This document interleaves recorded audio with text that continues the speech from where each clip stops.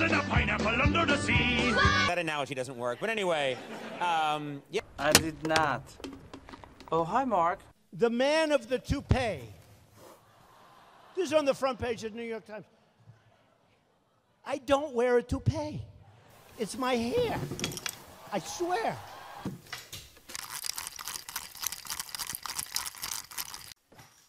Stop fucking lying.